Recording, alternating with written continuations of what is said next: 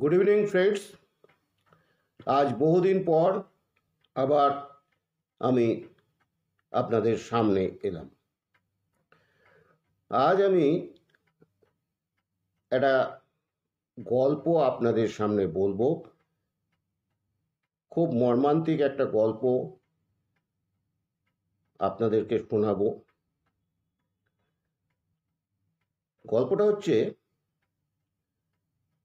গল্পের নাম মোবাইল চোর। মোবাইল আজকের দিনে একটা অপরিহার্য বস্তু। শিশু থেকে বৃদ্ধ মোবাইল সবাইরই প্রয়োজন। আমি কিছুক্ষণ আগে ইউটিউবে ভিডিও দেখছিলাম বাংলাদেশের একজন অভিনেতা মাসুম আজিজ, ওনার ভিডিও দেখছিলাম। এই গল্পটা ওনার থেকে শুনলাম। আমি আপনাদের কাছে শেয়ার করছি। গল্পটা শুনুন। আপনাদের যা মনে হয় তাই মন্তব্য করবেন। মাসুম আজিজ একজন অভিনেতা। উনি শুটিং করতে গ্রামে গেছেন কোনো এক জায়গায়। শুটিং হবে পরের দিন, ওনারা সেদিন বিকেলবেলা চারটে, সাড়ে চারটে নাগাদ পৌঁছে গেছেন। খুব ভালো জায়গা, খুব এনজয় করেছেন। এবার ওখানে যে ওদের থাকার ব্যবস্থা হয়েছে। শুটিং পরের দিন সকাল থেকে শুরু হবে। যেখানে থাকার ব্যবস্থা হয়েছে, কাঠের সব বড় বড় ঘর আছে। একটা ঘরে ওনাকে এবং ওনার সিনিয়র একজন অভিনেতাকে থাকতে দেওয়া হয়েছে। সেই সিনিয়র অভিনেতা দাদা ওনার সঙ্গে থাকতে অস্বীকার করলেন, ওই ঘরে থাকতে অস্বীকার করলেন। মাসুম আজিজ সাহেবের কথায় কুলিন আর নমশূদ্রর মতো আচরণ। যাই হোক, বাড়ির লোকেরা ওই সিনিয়র অভিনেতা দাদাকে নিয়ে অন্য ঘরে থাকার ব্যবস্থা করে দিলেন। বেশ ভালোই চলছিল। রাত্রিবেলা খাওয়া দাওয়া ভালোই হয়েছে, মাছের ঝোল, ভাত ইত্যাদি ইত্যাদি, নানান রকম উপকরণ দিয়ে খাওয়া দাওয়া শুরু হয়েছে। খেয়ে দিয়ে সবাই তৃপ্ত। এবার যে যার ঘরে এসেছে, হঠাৎ একটা শোরগোল শোনা গেল।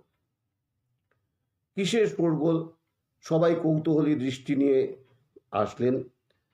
জানা গেল ওই সিনিয়র অভিনেতা দাদার মোবাইলটা হারিয়ে গেছে। এরপর সবাই ঘর থেকে বেরিয়ে এসেছে।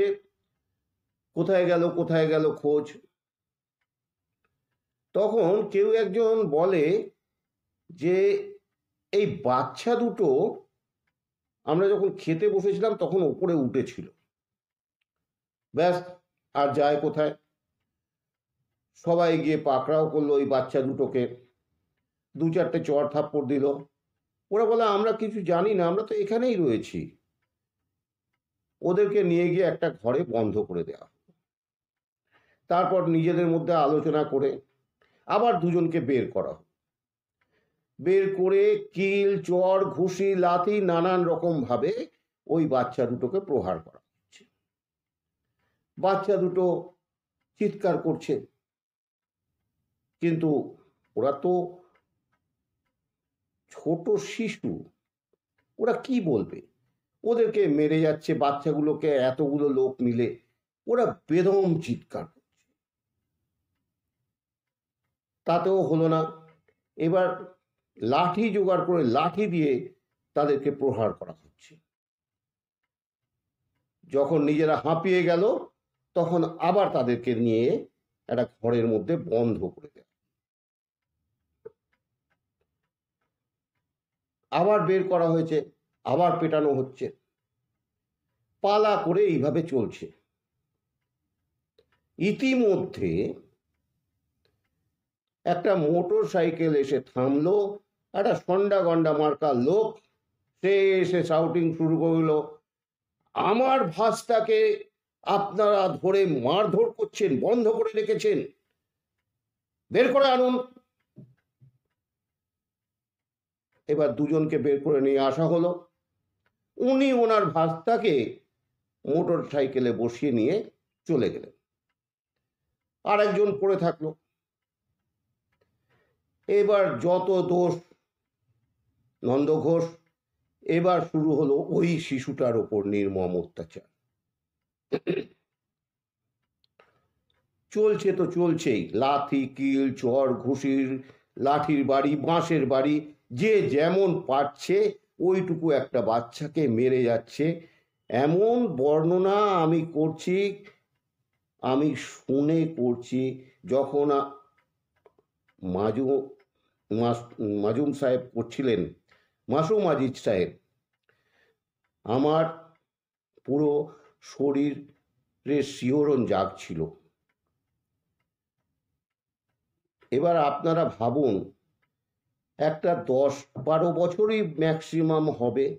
সেই বাচ্চাকে বারো, চোদ্দ, পনেরো জন লোক, কেউ লাঠি, কেউ বাঁশ, কেউ লাথি, কিল, চর, ঘুষি মেরেই যাচ্ছে। সেই বাচ্চাটা কত সহ্য করতে পারে? এরা পালা করে করে নিজেরা যখন হাঁপিয়ে যাচ্ছে, ছেড়ে দিচ্ছে, দরজা বন্ধ করে রেখে দিচ্ছে, আবার বের করে এনে আবার পেটাচ্ছে। এই করে করে রাত্রি এগারোটা, সাড়ে এগারোটা পর্যন্ত চলল ওই বাচ্চাটার উপর অত্যাচার। তারপরে আবার বন্ধ করে রেখে দিয়েছে। এবার হঠাৎ করে সাত আটজন ছেলে এসে সেখানে হাজির। যুবক, তারা এসে বলে, কই কই, বাচ্চাটা কই? বের করুন। ওসব আপনাদের কর্ম নয়। মোবাইল কোথায় আছে আমরা বের করে দেবো। এরা ভাবলো, যাক, এরা এলাকার ছেলে, এরা এসে মোবাইলটা বের করে দেবে। ওকে বাচ্চাটাকে বের করে ওদেরকে ওদের হাতে তুলে দিল। ওরা নিয়ে চলে গেল টানতে টানতে, মারতে মারতে।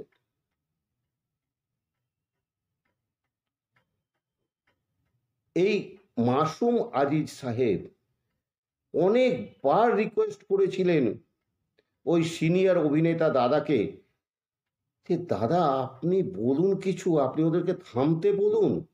ওরা যে বাচ্চাটাকে মেরে ফেলবে। বলে, মেরে ফেলুক, তাতে তোমার কি? মোবাইল আমার হারিয়েছে, তোমার কি হারিয়েছে? তোমার হারালে তুমি কি করতে? মাসুম সাহেব বলছেন, আমার হারালে আমি কিছু বলতাম না। তারপরে মাসুম সাহেব গেলেন যারা পেটার ছিল তাদের কাছে বলল প্লিজ আপনারা ওই বাচ্চাটাকে ওইভাবে মারবেন না, ছেড়ে দিন। একটা মোবাইল হারিয়েছে, ওর কাছে থাকলে ও দিয়ে দিত, এত মাস খেত কেন? ও কি পাকা চোর? ও শরীরে লাগে না ব্যথা লাগে না? ছেড়ে দিন ওকে। তারা বলল, আপনি এর মধ্যে পড়বেন না, আপনি চলে যান। এটা আমরা বুঝে নেব। কি করবে? উনি চলে আসলেন।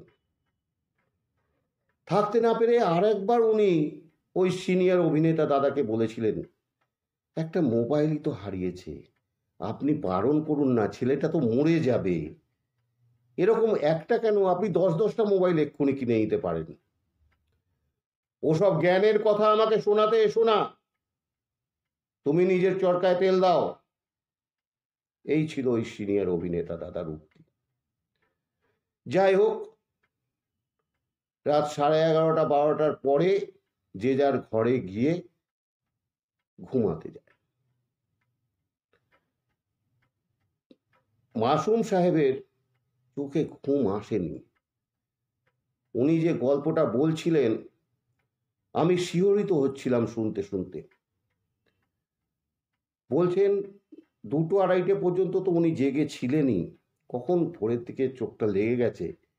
হঠাৎ একটা মহিলা কণ্ঠ এসে সেখানে চিৎকার শুরু করে দেয়। তোমরা বাচ্চাটারে মাইরা ফালাইলা, তোমরা বাচ্চাটারে মাইরা ফালাইলা। বলে বুক চাপড়ে চাপড়ে নাকি সেই মহিলা কাঁদছে সবাই বেরিয়ে এসছে।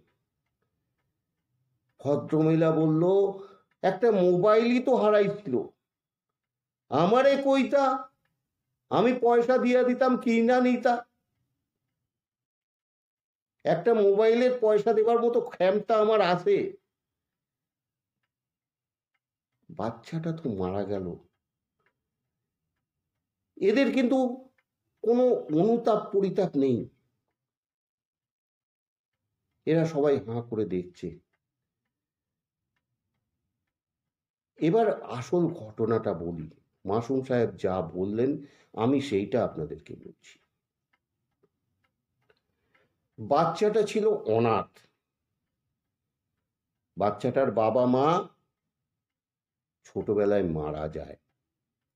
আর ওই যে মহিলা এসেছিল, ওই মহিলাটি হচ্ছে ওই বাচ্চাটির ফুফু মানে পিসি। সরি ওই বাচ্চাটির ফুফু মানে পিসি।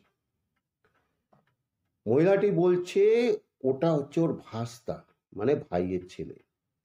আর যে আট দশজন যুবক নিয়ে গিয়েছিল, তারা ওকে নিয়ে গিয়ে একটা ধান খেতে, ধান কাটার পরে যে ধানের গোড়াগুলো থাকে খড়, তার উপরে শুইয়ে দিয়ে। ওই বাচ্চাটার উপর নৃত্য করে করে ওকে মেরে ফেলেছে। ভাবতে পারেন আমরা কোন বিশ্বে বাস করছি, কোন যুগে বাস করছি? একটা মোবাইলের জন্য একটা শিশুর প্রাণ কেড়ে নিল। আসল ঘটনাটা কিন্তু মোবাইল নয়। এই ষড়যন্ত্রটা চলছিল অনেক আগের থেকেই। ওই বাচ্চাটার ফুপু সেটা বুঝতে পেরেছিল। বুঝতে পেরে ওই বাচ্চাটাকে তার নিজের দেবরের বাড়ি ঢাকা শহরে সেখানে পাঠিয়ে দিয়েছিল। ওই দেবরের সেখানে একটা মোটর গ্যারেজ আছে, সেইখানে মোটর সাইকেল সারানো হয়। ওই বাচ্চাটা সেখানে কাজ করত, তার বাড়িতেই খাওয়া দাওয়া করতো, পালিত হচ্ছিল। সে সেখানে খবর পায় যে তাদের গ্রামের বাড়ির ওখানে শুটিং হচ্ছে। শুটিংয়ের খবর পেয়ে সে গ্রামের বাড়িতে আবার ফিরে আসে ফুপুর কাছে। ফুফু তাকে নিষেধ করেছিল, যাস না বাবা, ওখানে গিয়ে কি হবে? যারা আসছে নায়ক, নায়িকা, তারা সব আমাদের মতোই মানুষ। তুই গিয়ে কি করবি? থাক।